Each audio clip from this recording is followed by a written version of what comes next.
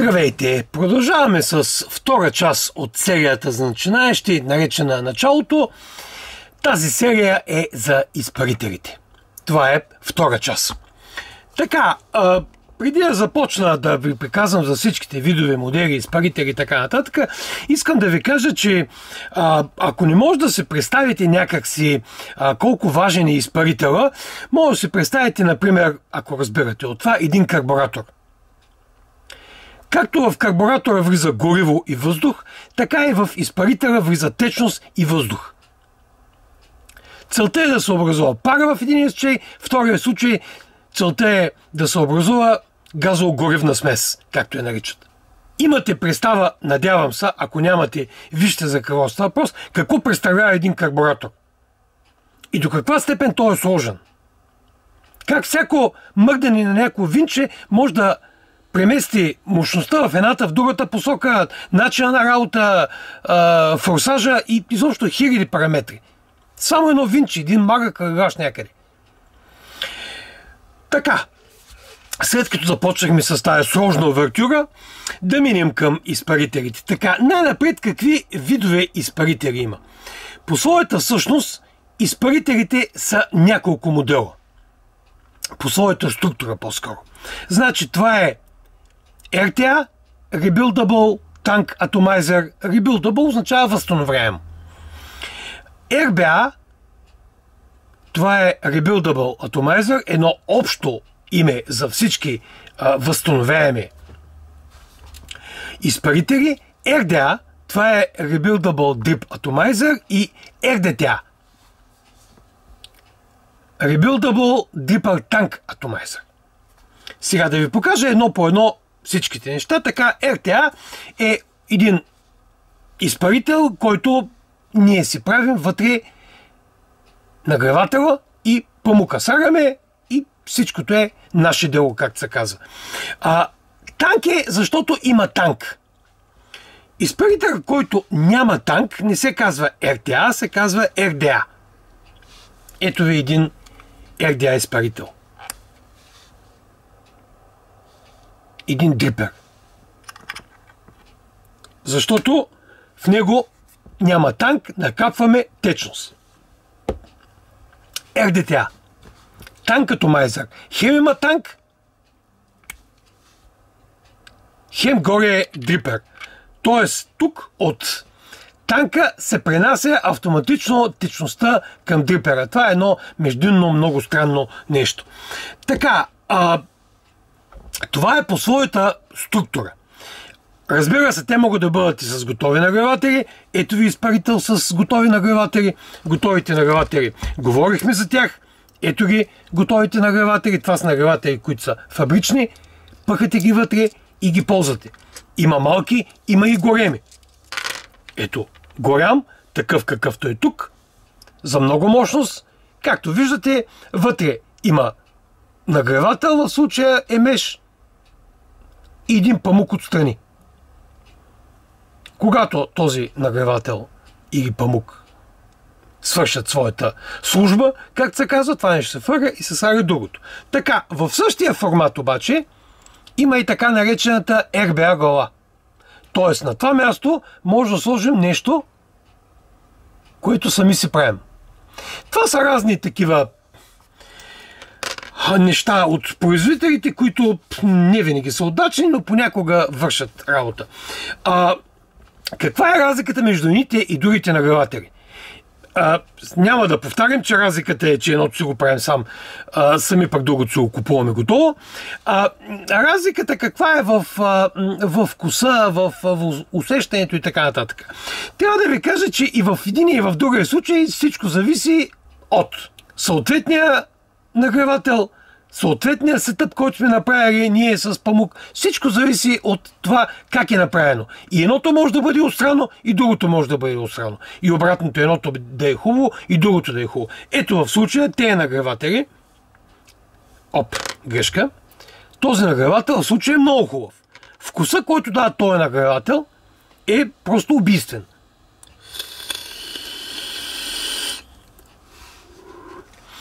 Аз рядко съм срещал толкова хубав вкус от готов нагревател. Говорим даже за Дел. примерно. Но всякакви варианти има. Така, следващия тип изпарители по своя въздух са DL и МТЛ.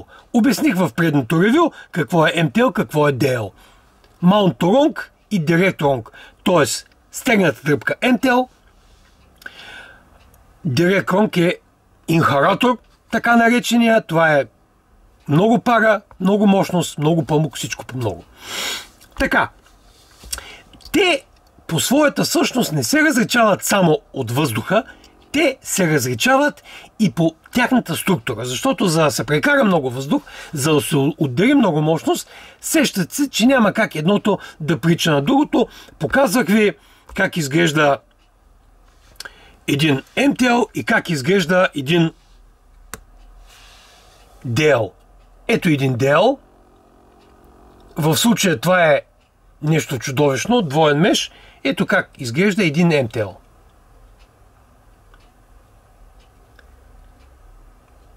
Само по размера на памука мога да сетиш какво прави едното и какво прави другото.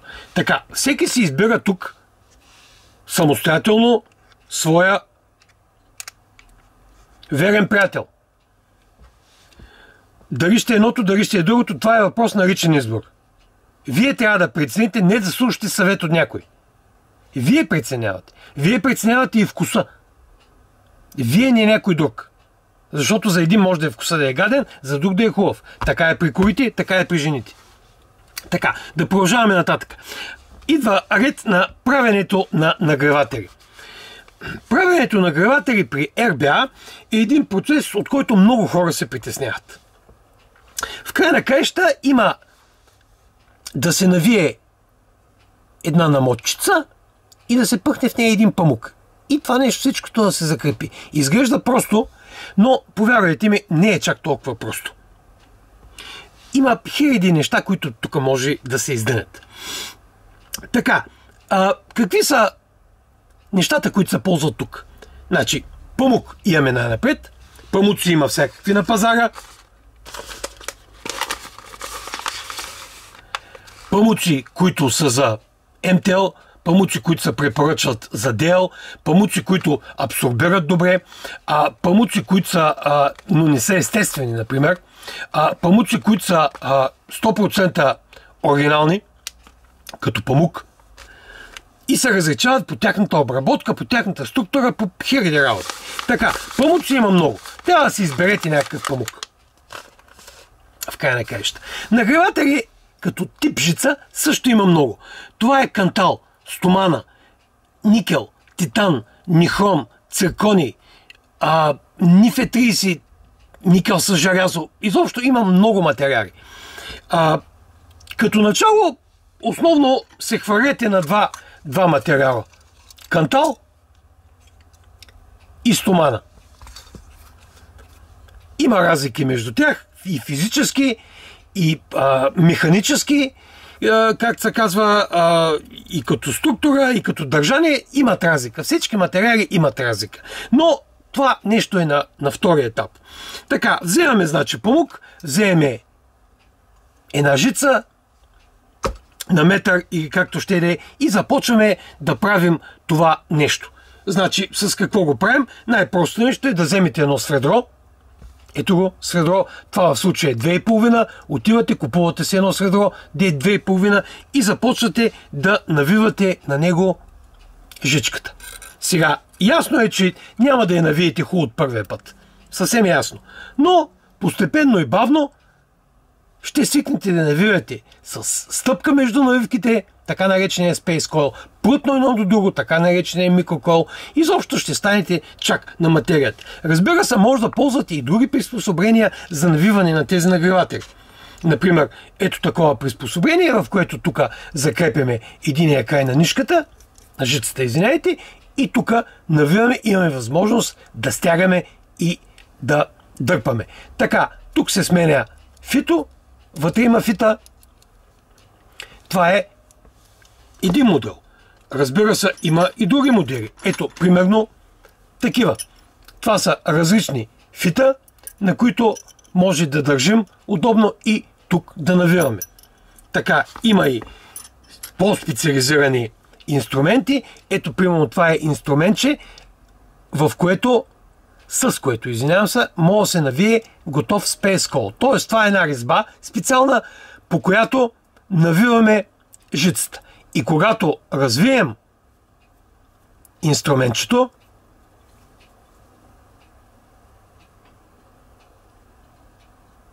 жицата е готова, навита. Виждате колко красиво. Разбира се, това може да бъде съвсем в добър вид. Ето, примерно, тук има лява и дясна резба. Защото е означение на къде ще излиза жицата, когато я затягаме тук под болчета. Някой понася трябва резба, някой искат дясна резба, така че да може жицата да се падне от долна страна. Какво имам предвид? Ето, пример на, според мен, неправилно сложена жица. Жицата излиза от горна страна. Тя се сяга така, защото завивайки я под винчето, гледаме винаги тя да влиза от лявата страна. Защото винта се затяга по посока на часовниковата стрелка. Когато го сложим от другата страна, когато го затягаме, ние всъщност изплюваме навънка жицата. Повярвайте, никак не е удобно.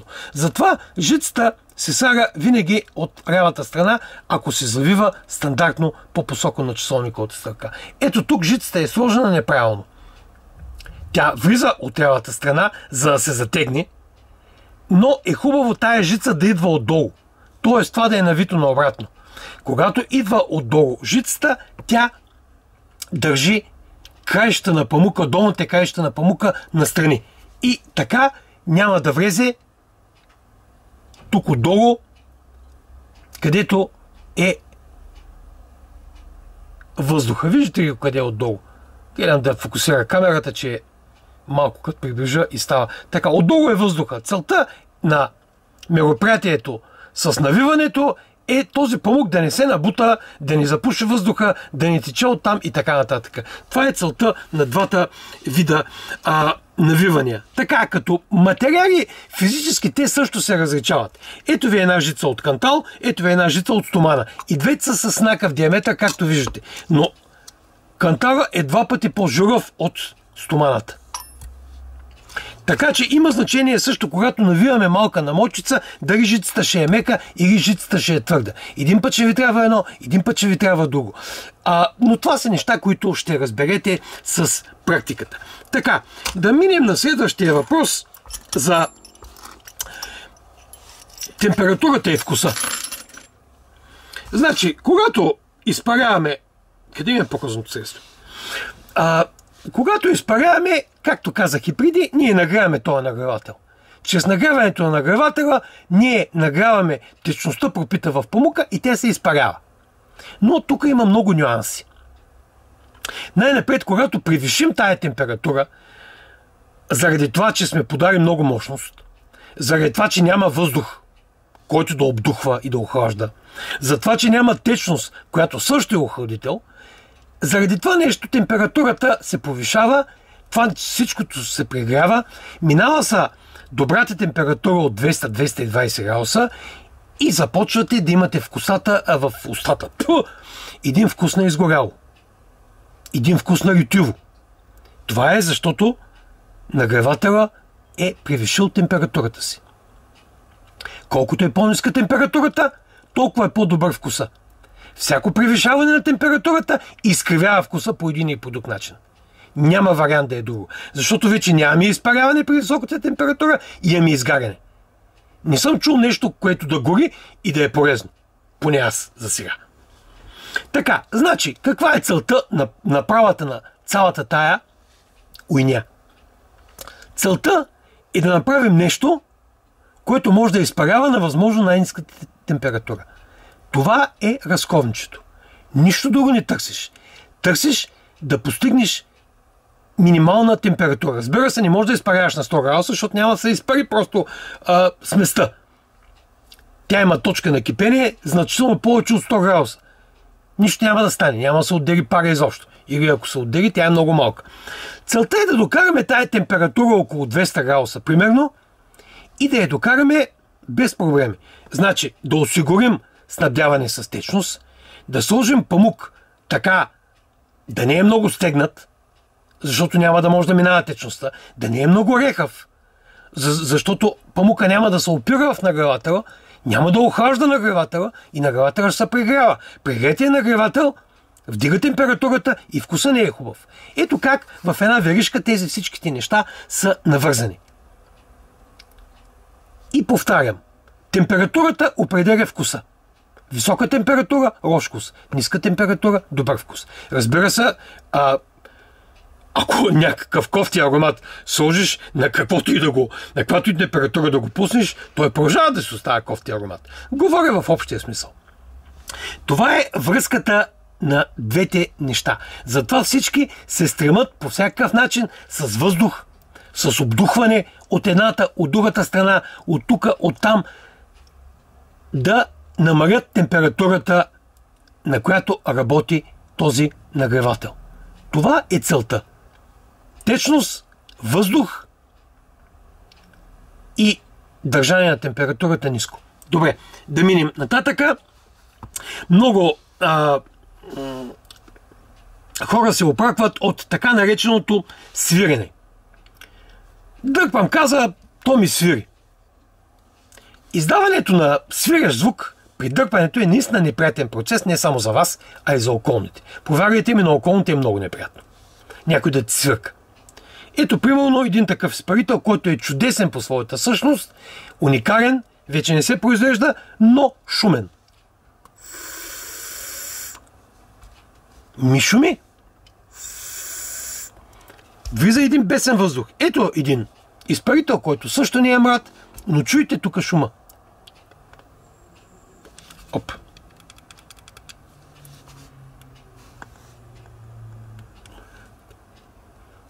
Чухте ли нещо?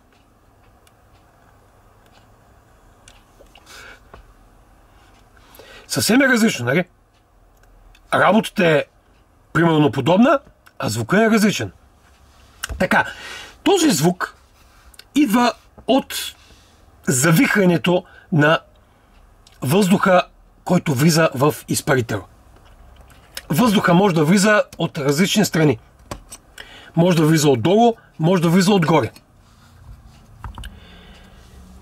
И ще ви обясня и какви са разликите. Ето изпарител, при който въздуха влиза отгоре. Ето друг изпарител, при който също въздуха влиза от, отгоре. Ето изпарител, при който въздуха влиза отдолу. Различни схеми, различни постановки, много, много варианти. Така, при влизането на този въздух през странични отвори, неговото прекарване през въздуховоди и всякакви а, възможни а, канали и начини за подаване. Ето, примерно, тук въздуха се подава тук отстрани. Влиза отгоре, това е изпарителната камера и въздуха се подава и тук в този процет. Всекакви начини има. А, и тези начини започват да оказват влияние върху нашето изпаряване с тяхното свирене. Сега, кой е най-добър, не мога да ви кажа. Защото а, подаването на въздуха по един или по друг начин влияе на вкуса. Но самото свирене е от завихането. Сега, завихането може да бъде от най-различни неща. Например, а, недобре направени а, рестриктори за въздуха. Тук, примерно, въздуха се регулира с гривна, а някъде въздуха се регулира с, аз им казвам, жигриори. А, много са базикари, защо казвам на тези въздушни рестриктори жигриори? Това са и ни рестриктори, които имат определени отвори, те подават определено количество въздух. Ами, жигриори бе, вижте как изглежда един обикновен жигриор. Е, че каква е разликата? Жигриор от карбуратор имам предвид. Същата разлика. Тоест никаква разлика. Така, това а, е по повод а, свиренето. А, свиренето обаче е свързано и с един друг процес, който а, не е същия а, и той е малко страничен. А, това е процеса, при който, влизайки въздуха вътре в изпарителната камера, той се завиха. Ето и ни нагреватели и тук стои един памук. Примерно, ето ви и изпарителната камера. Е това нещо вътре, в което стои стоят нагревателите и техните държачи. Този обем се нарича изпарителна камера. Изпарителната камера може да бъде обла, скосена, квадратна, правоъгълна, каквато си искаш. Нали? Това е просто изпарителна камера. Но, когато въздуха влиза отдолу, отстрани, отгоре, защото има и въздух, който влиза от тук, става обдухването при всичкото това влизане на въздуха, при това движение на въздуха се получава завихане. Няма начин да ни прекарваш въздуха през някакви а, сложни отвори, да го въртиш през разни дубки и да не се получи завихане. Завихането а, може да създаде свирене, може при определени обстоятелства. А, всичко зависи от а, ъглите, през които минава въздуха, дали са прави, дали са овални, дали изпарителната камера е шлайфана, дали не е шлайфана отвътре. Всичко това може да породи завихане, може да породи и свирене. В идеалния случай завихането става около самите нагреватели. Въздуха влиза така, ето примерно влиза въздуха от тук и от тук. Така минава въздуха от всякъде. И така се става завихането, че завихането трябва да стане около самите нагреватели. Тук да стане завихането. Когато въздуха се завихре в изпарителната камера, ето тук започна да се върти, няма никакъв ефект. Няма вкус. Това вихрово движение отрага течността от парата по стените и ние не получаваме нищо. Нито вкус, нито пара. Напротив, обаче – едно изключение. Получаваме една течност, която е тук и която въздуха реко по реко е качва и тя ни се качва в устата. Заради това се получава качване на течността. Така, да поговорим за качването на течността. Качването на течността към устата е нещо изключително неприятно. Дърпаш и в устата ти или пръска, или остава някаква течност. Откъде идва тая течност? Тая течност идва от, както казах преди малко, от завихането. Тук по стените не се върти въздуха през нагревателите да може да течността оттам да се взема и да отива нагоре към устата ни. Тя се върти е тук по, по стената, отрага се по стената и не стига до устата ни. Тоест, тя стига, ама не в вида, в който искаме. Тя стига като течност, а не като пара. Тоест, остава в устата един много неприятен вкус. Това е едното. А, може да зависи а, това пръскане или качване на течността от самата течност. Примерно, по-редка течност по-лесно се качва от самата от самия въздушен поток, когато дърпаме, по-лесно се качва нагоре. Може от това да е. Може пръскането, примерно, да е от това, че сме преобмокрили сетъпа. Ето, подари сме твърде много течност по някаква причина.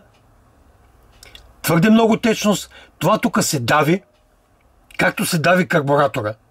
И почва да прави и колата ни върви. Така, преобмокрене с течност често срещано явление по разни причини. Ще говорим след малко за тях. При това преобмокрене и при натискането на бутона и при изпаряването, тук по повърхността на нагреватора се образуват мехурчета, които се пръскат и когато се пръснат, те пръскат. И тези пръски през дрип типа нагоре отиват в устата ни. Много са неприятни, защото са горещи, много са горещи и са капчици, които много дразнят. Това пръскане, пак казвам, става от няколко неща, но най-вече е от преобмокренето. Така, как може да се реши този въпрос? Ами има два начина. А, намаляме количество течност, което влиза, т.е. примерно слагаме повече памук, или ако може по някакъв начин да сипем друга течност по-гъста всякакви начини, но трябва да намалим доставката на течност. Това е единия начин. Втория начин, евентуално, може да се опитате да мръднете мощността в едната в другата посока, да видите дали има някакъв резултат. При всеки изпарител това е различно. Така, третото, от което а, течно се събира горе в устата, това е дриптипа. Дриптипите, това е мунштука, който ние ропаме и през който парата стига до устата ни. Те са най-различни като размери, като дължини, като основи те са два вида. Само два вида са. Значи това е тип 510. Ето го. А това е тип 810. Ето двата модела. Различават се по дебелина. Едното е голямо и е за DL, другото е малко и е за MTL. Така, но по своята форма те са много и най-различни. Ако, примерно, използвате по-дълъг дрип тип, по-е-малка вероятността на течността да стигне до устата ви. Разбира се, дрип типа има друго а, преимущество още, че голямата дължина охлажда парата докато стигне до устата ви. Но има едно отрицателно свойство, много дълго и не всеки иска да му стърчи този уешник от мода. Така, това е решение пак, както казвам, което взехте вие. Така, отиваме към последната част и това е протичането. Много хора се опакват, че изпарителите им протичат. Това е изключително често срещано явление.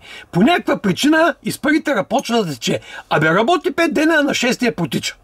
Или зареждаш го и той протича веднага. И сипват се в джоба, в ръцете, на масата. Изключително и крайно неприятно явление.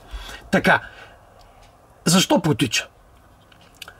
Значи, протичането в общия случай означава, че херметизацията на този изпарител по някаква причина е нарушена.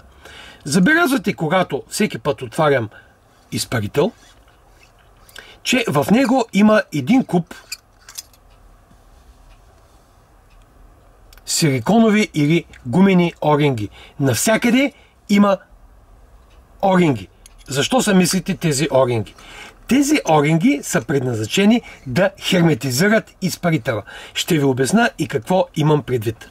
Когато изпарявате, обикновено нагревателя е по-низко от течността. Тоест течността е тук, а нагревателя е долу. Това какво означава? Че по принципа на скачените съдове течността се мъчи да слезе надолу. Ако и въздуха ви е дорен, какво пречи на течността от тук по гравитацията да излезе от тук? Нищо не пречи по принцип. Така, това нещо се прави и се решава този проблем, като памука запушва отворите за течността. Този памук запушва отворите за течността, които са тук. По този начин течността се спира. Добре, казвате. Течността се спира, а как тя все пак стига до тук? Стига по един много прост начин. Всеки път, когато дръпнем от тук, ние създаваме в изпарителната камера зона с по-низко нарягане. Тази зона с по-низко нарягане не е вакуум, но отива нататъка. Тази зона с по-низко нарягане изтегля течността принудително през памука. Целта на памука, както казах и преди, е да хем да не е рехав, хем да не е плътен. Много рехавия памук води до наводняване. Много гъстия памук не позволява на течността да мине през него. Ето това е вързано и с принципа на работа на изпарителите. Дърпаме силно, създаваме зона на ниско нарягане в изпарителната камера. Тая зона на ниско нарягане издърпва течността от зоната на от танка, където нарягането е по-низко. Изравняват се наряганията. И колкото течност е изпарена, толкова течност и влиза. Това е идеалният случай, разбира се, но в повечето случаи точно така работи. Изпаряваме на течност, тая течност постъпва от, от танка и напоява памука, той да е готов за следващата дръпка. Не да чакаме. Напояването трябва да стане още по време на дръпката. Дърпаме, памука вече се напоява. Той е готов за следващата дръпка. Или, примерно, в разликата между двете дръпки, памука успява да се напои. Затова са важни и тези памуци и количеството на памука вътре. Така, и протичането. Ами когато нещо е нехерметизирано, т.е. имаме скъсан оринг, щупен танк, някъде не сме затегнали някой капачка, зе отвор от някъде, много ясно, че цялата тая система е дехерметизирана. И тя, разбира се, протича. Повтарям, протичането най-вече, при положение, че изпарител е работил преди това, е най-вече от това, че нещо е разхерметизирано.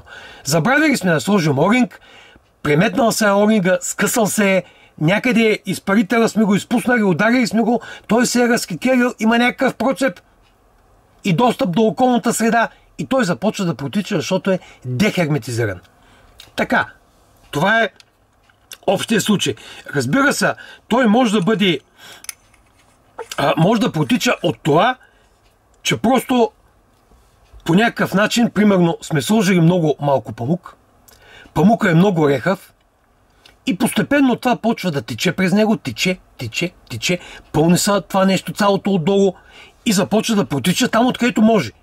Откъде протича една щупена чаша? Ми от най-низката част. Примерно, тя като се щупи, ясно е, че протича от всякъде. Примерно, обикновено нещата текат от най-низката част. Защото те се стремат да отиват надолу.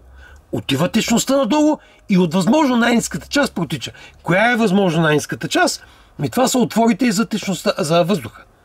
Те са общо в най-низката част. Някъде протича тук отдолу. Протича от централния пин. Протича тук от тръбовете. Бавно и постепенно почва да тече. И ни наводнява устройството, което е отдолу. Мода. Така, това как се решава? Просто слагате повече памук. Ако потича от памук.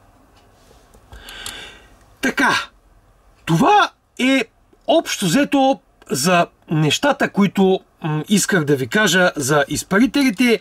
Не знам доколко се получи стройна и систематизирана цялата програма, защото искам да кажа много неща а се връщам за други и така нататък. Надявам се на крипа да е бил полезен за вас. От мен, от Смокинг Маняк, до скоро виждане.